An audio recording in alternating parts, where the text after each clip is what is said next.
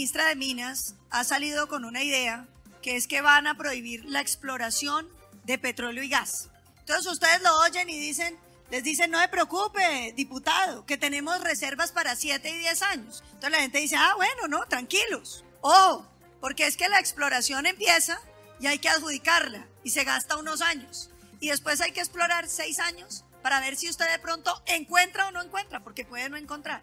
Puede suceder que desde el inicio de una licitación y la primera gota de petróleo pasen 10 o 12 años. Y lo mismo en cifras de gas.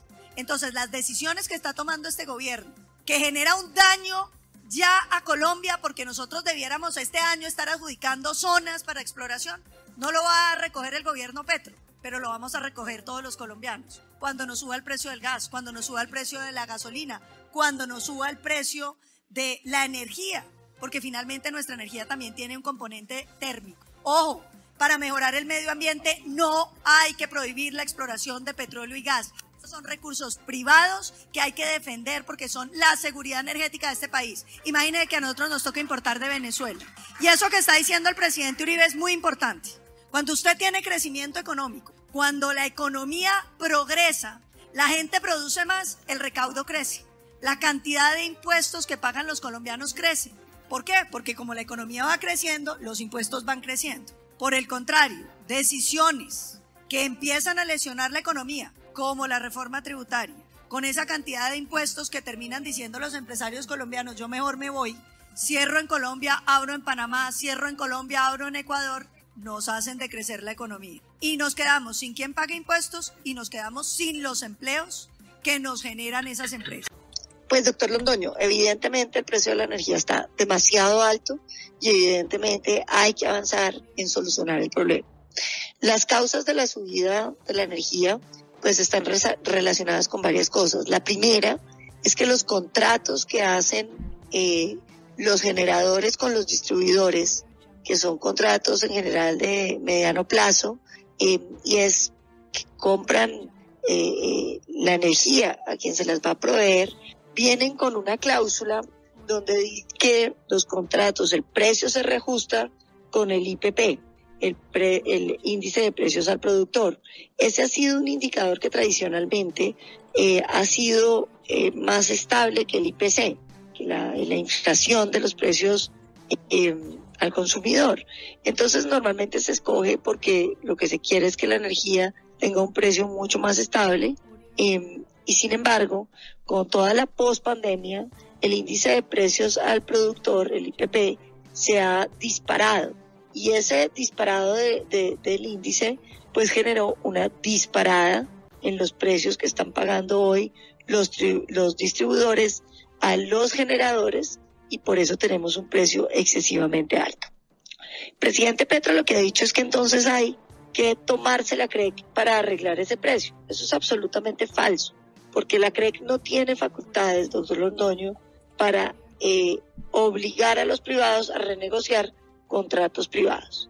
Aquí lo que hay que hacer es, eh, pues, yo creo que sentar a los distribuidores, a los comercializadores y buscar realmente que podamos generar eh, una, una, baja de ese precio de manera consensuada en esa relación contractual que tienen que eso es muy importante. Lo segundo, la costa tiene un problema adicional y es que de cada cuatro electrones eh, se pierde uno, se roban uno, y hay que decirlo así, se roban uno, porque tenemos una cantidad de conexiones ilegales en la costa caribe donde la gente simplemente saca una línea y con esa línea eh, le pone luz.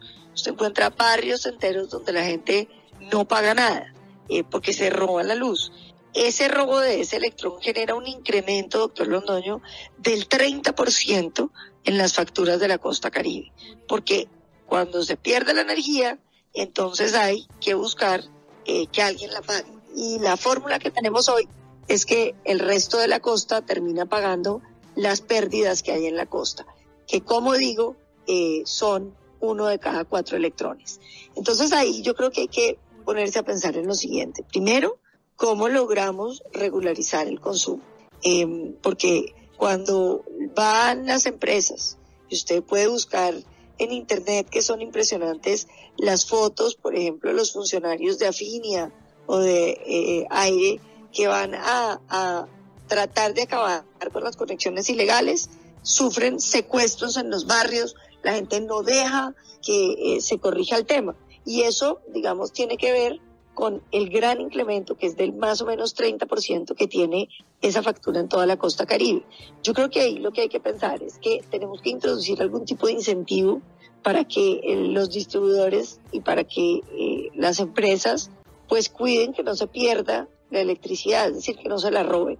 Y eso podría regularse de una manera más bien sencilla, poniendo un básico de energía que el Estado está dispuesto, digamos, a reconocerle a cada hogar y de ahí en adelante energía prepago. Es decir, usted paga la energía que quiere usar.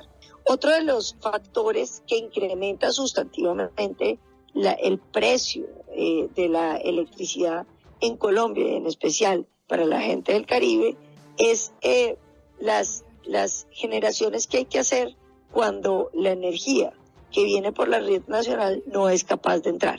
Y ese es el caso de Barranquilla.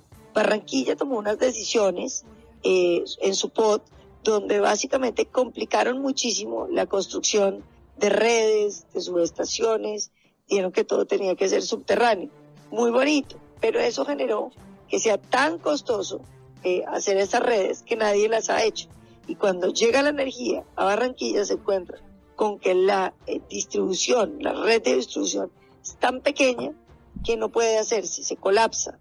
Y entonces, para que no se apague Barranquilla, toca prender una eh, empresa, eh, una fábrica de energía térmica que se llama TEPSA, y a veces para compensar la red, toca prenderla del otro lado que se llama Flores. Eso le cuesta al Estado colombiano, perdón, a los, a los, le cuesta a los, a los recibos de luz básicamente 2.4 billones de pesos al año. El caso Barranquilla vale el 70% de ese tipo de, de, factor eh, y, y, cuesta más o menos 65 pesos adicionales en la factura.